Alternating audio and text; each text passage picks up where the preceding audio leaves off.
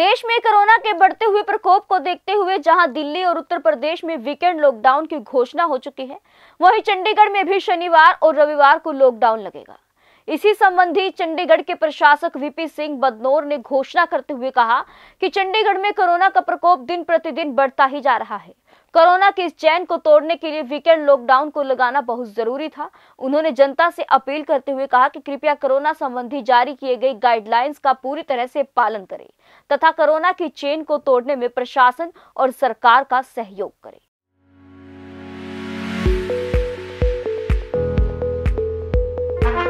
Breaking news, रास बसेरा आपके लिए लेकर आए हैं खास मौका। वो भी हरियाणा सरकार की अफोर्डेबल हाउसिंग योजना के साथ, जिसके तहत आपको मिलेगी छह लाख रुपए तक की सुविधाओं के रूप में सब्सिडी जैसे कि free parking EDC IDC free club charges free और मेंटेनेंस फ्री और कोई हिडन चार्जेस भी नहीं। तो आज ही बिना देर किए अपने सपनों का घर बुक